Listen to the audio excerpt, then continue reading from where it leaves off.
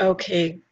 Hello, everyone. This is the February 7th meeting of the Person and Family Engagement Work Group for VCSQI SAN 2.0. I'm Debbie Nadzam Melnyk, and um, we are recording this session. So today we wanted to review um, what the purpose of this work group will be, talk about the metrics a little bit, and what the requests for assistance are going forward. Um, I'm going to ask those of you who are on the call, which are two staff members from VCSQI and Janelle Cox from the Knoxville Comprehensive Breast Center at this point. Is there anything else that you think we should talk about other than maybe how we can encourage more people to be on the call? Maybe a different time would be better. Um, Janelle, as someone working in the field, do you have any thoughts on that? Should we pick a different time? We're trying to cross all time zones, which becomes a challenge.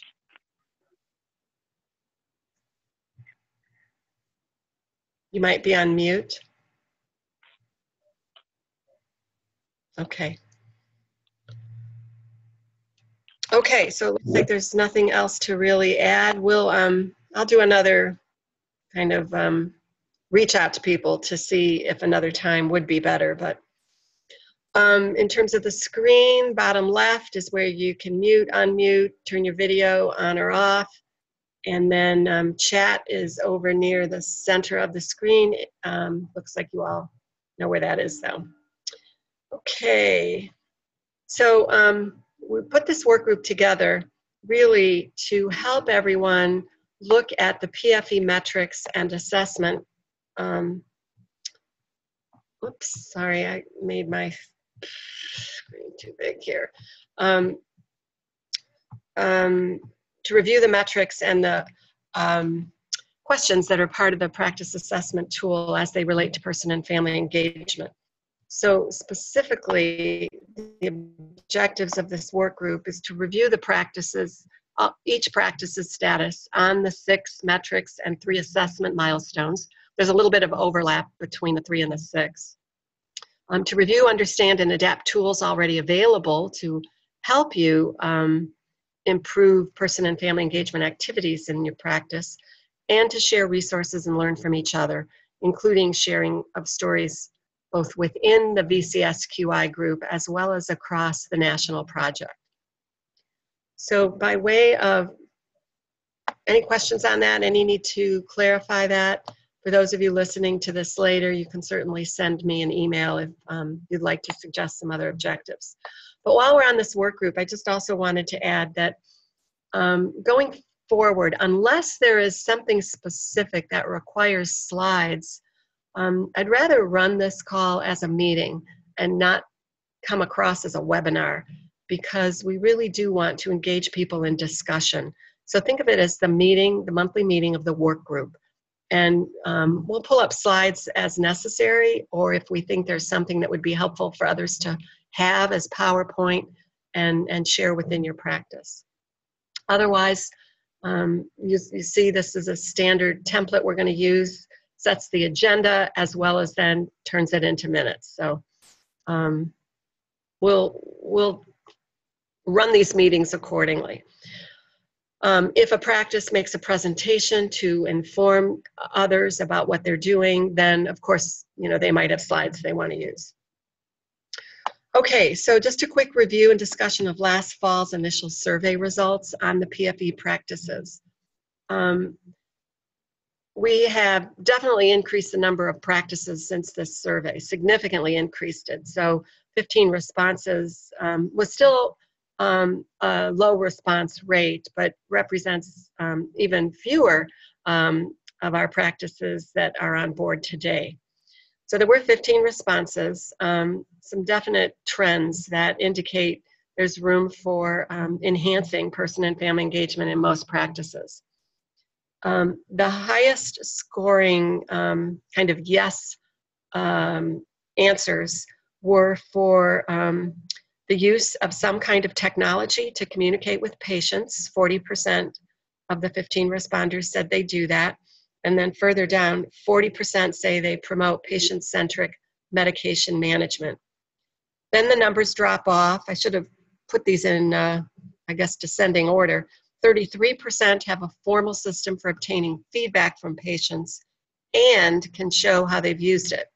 So more than 33% actually seek feedback from their patients, but only 33% use that feedback to do something about their practice. Then you see 27% of practices said they do assess patient health literacy, and 27% said they can demonstrate the practice of shared decision making with patients, and 27% said, said they include patients on some type of committee. Now, were these the same practices for each of these three activities? I'm not sure. I didn't go to that level of analysis. And then we see only 13% assess the patient's level of activation, which really is why we um, focused our first webinar on patient activation a couple weeks back. So another, a final question in this survey asked you all to um, of uh, check all that applied in terms of the, the topics you wanted more assistance with. 73% said patient-centric medication management, 53% assessment of patient activation, 47 with assessment of health literacy, and 40% with shared decision making. So even though medication management was first, we went to patient activation for that webinar first since only 13% said they even assess it. Um, any comments from anyone on this, including Rick or Janelle or Jana? Does it prompt any, any thoughts? Uh, not right now, Deb. Um, Janelle, we really don't use fall assessments. I'm not sure. I'm not sure what that means related to falls. We weren't really asking about falls, but maybe um, I'm missing something in your comment in the chat box.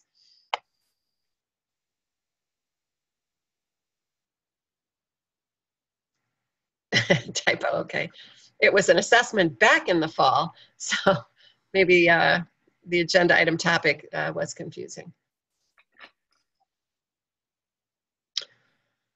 Okay, so um, what we're thinking is that for these activities, um, and again, there's um, some redundancy between the three milestones on the practice assessment tool and the six metrics, specifically shared decision making, the use of an e-tool and including the patient's voice.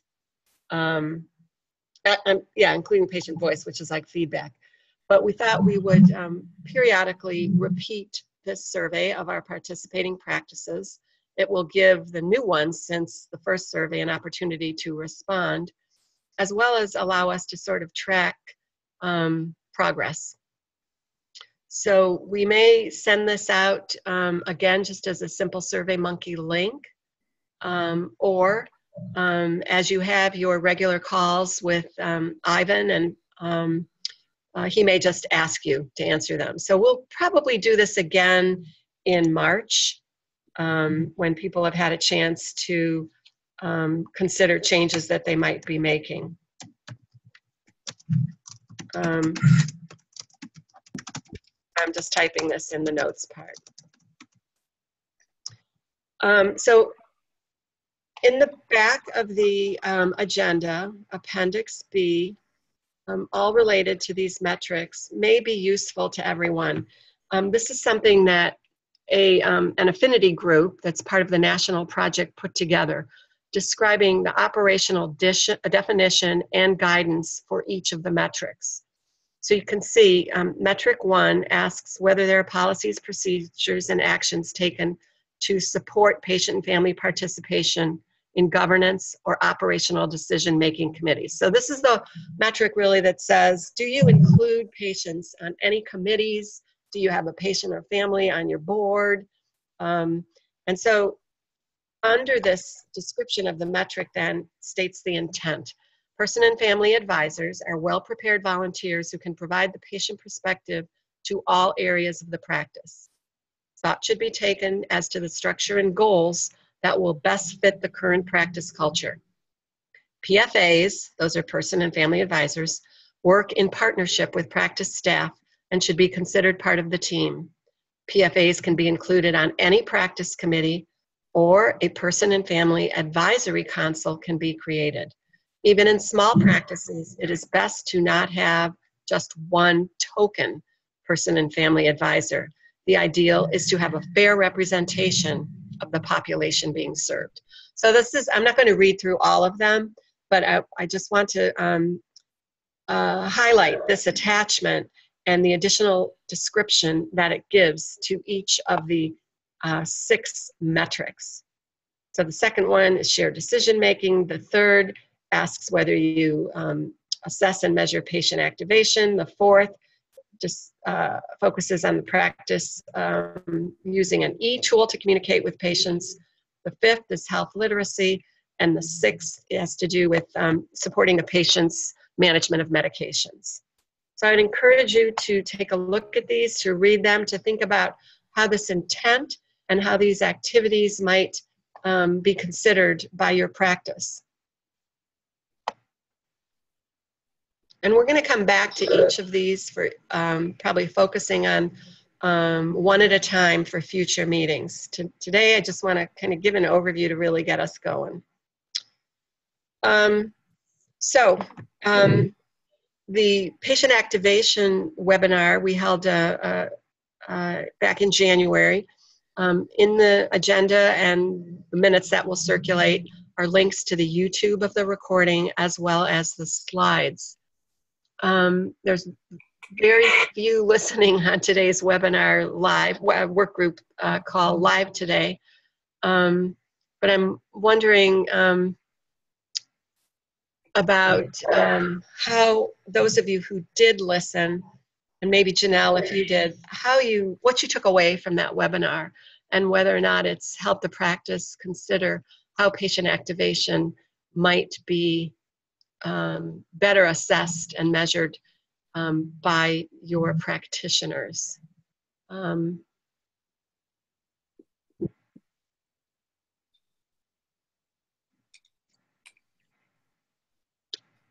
Okay, so it doesn't look like Janelle, you were able to listen to this when it was live.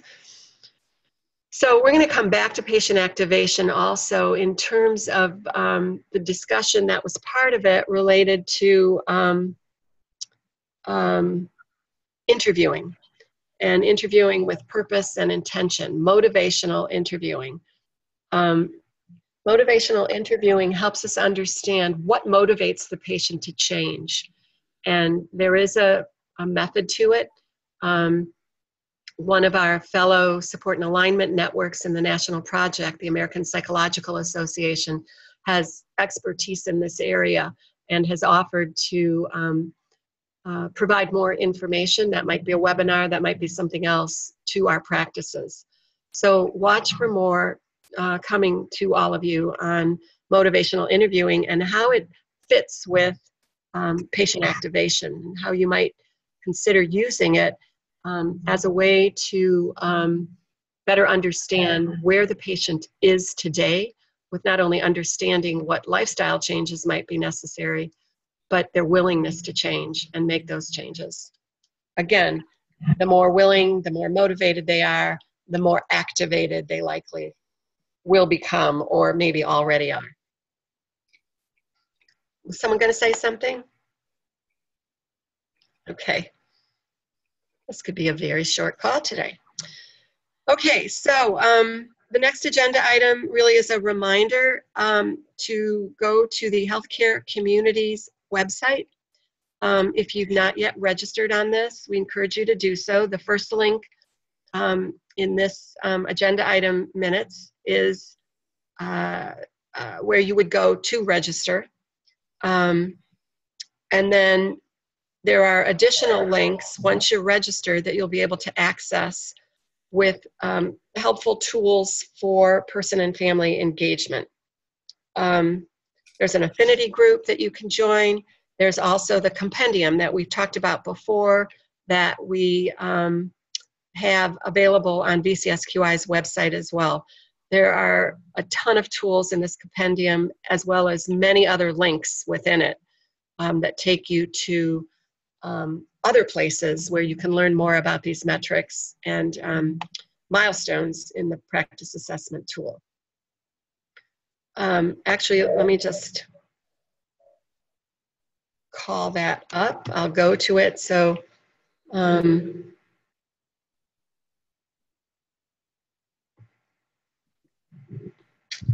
it's not clicking. There we go. So this will show up on the recording for people who want to take a look at it. So you can see I had to have logged in in order to get it.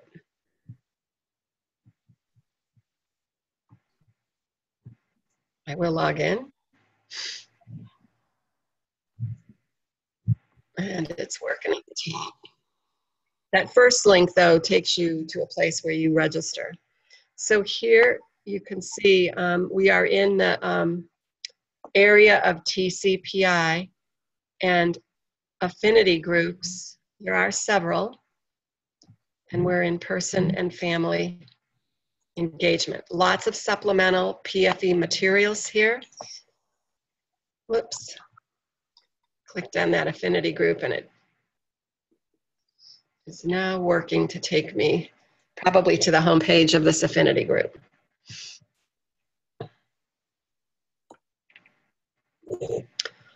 Um, but you'll see also when we get back to that page, there's a template.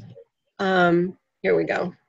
So this is the home page for the PFE affinity group. And you can see there are articles, um, not only from um, other contracted organizations, but some show up for uh, from practices as well.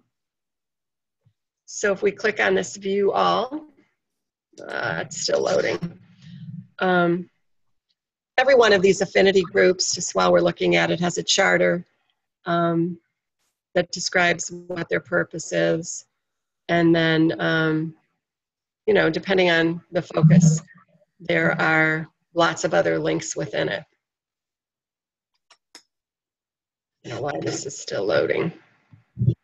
Here we go. So on the side here, you see um, lots of different options. Uh, PFE story template,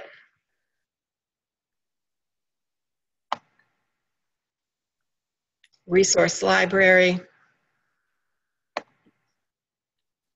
And I believe it is in here where we can find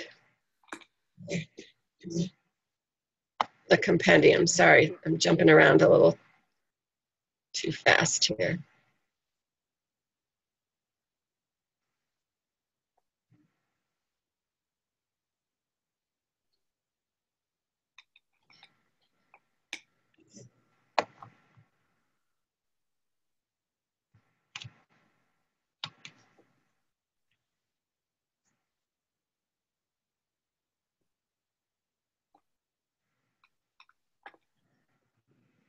Ah, it's downloading here.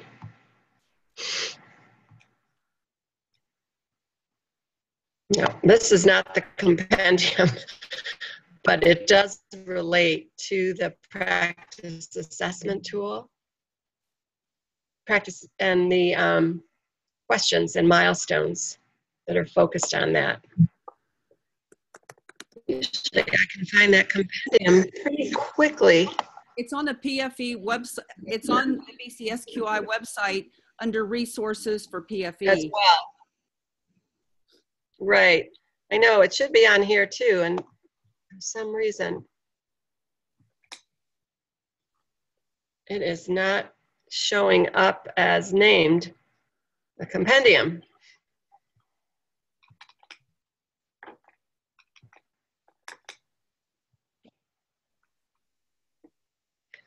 Well, the best place to find the document itself then would be on our website.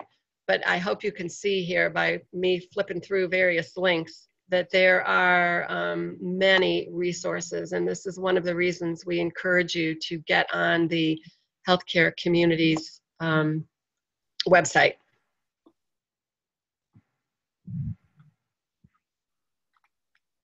Um, the program overview. That's probably why. Here we go. So this is under resources, under PFE program overview, supplemental PFE program materials. So here is the compendium of tools and resources. And you see it's just downloading for me. It doesn't open from just by clicking it. You've got to download it.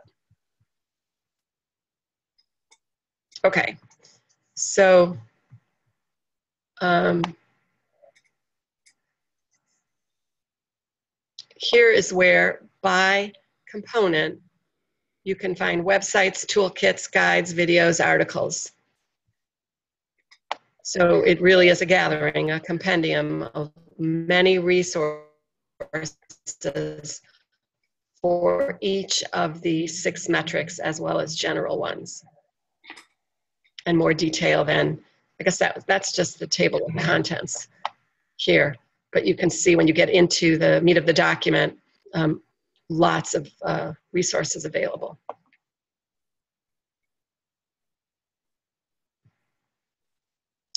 Okay. Um, I also wanted to bring to your attention, because medication management was um, uh, ranked high as something people wanted more information about, um, another um, support and alignment network, the Patient Centered Primary Care Collaborative, I'm just going to highlight it here on screen. Um, this is actually managed by the American College of Physicians. They have um, also put together many uh, tools for person and family engagement. So the general link to find those tools is this other PCPCC resources. But the one above it is a webinar um, that discusses medication management and e-tool use as well as how to incorporate patient and family voice. It's a 60 minute recording um, um, that covers all three of those topics. A little bit of intro about the metrics in general, um, and then um, gets into a little bit more about those three metrics specifically. In the minutes, I'll put the, um, the time of the webinar, where it um, begins, uh, talking about each of those three topics, so that if you want to jump to it, uh, you can.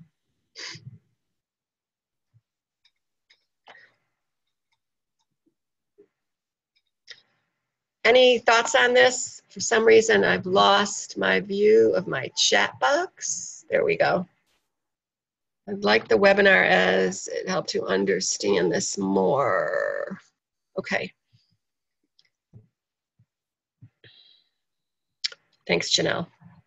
All right, well, then our last really discussion item is the next meeting. And I guess I have some work to do to try and encourage um, more of our practices to send a representative. Um, but I'm thinking perhaps we should jump into um, either um, medication management or motivational interviewing since it related to um, um, the health activation webinar we already had. And I think um, our colleague from American Psychological Association, um, Dr. Chris Nettles, did say, as did Mary Minetti, the presenter, that patient activation and shared decision making actually go hand in hand. So motivational interviewing will actually help with two of those metrics to understand where the patient is as it relates to wanting to change and being involved. Um, any any suggestions as to which topic might be best to proceed with? I mean, medication management was high up there on um, the request list for more information.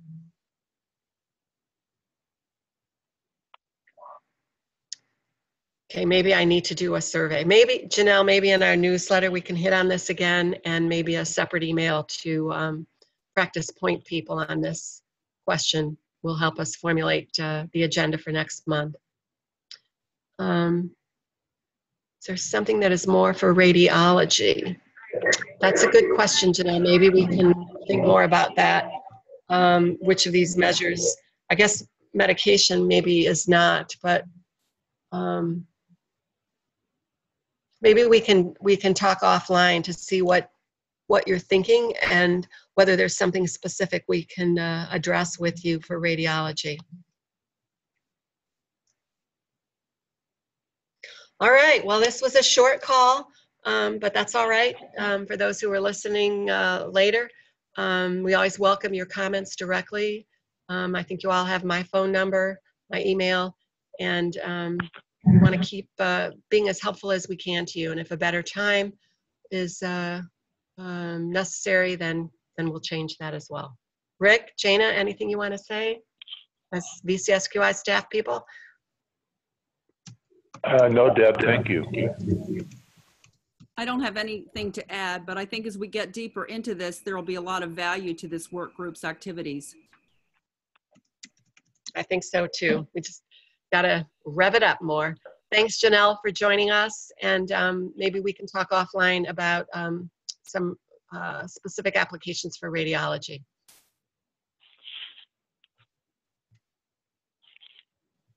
All right. Have a good day, everyone. You too, Deb, thank you. Bye bye.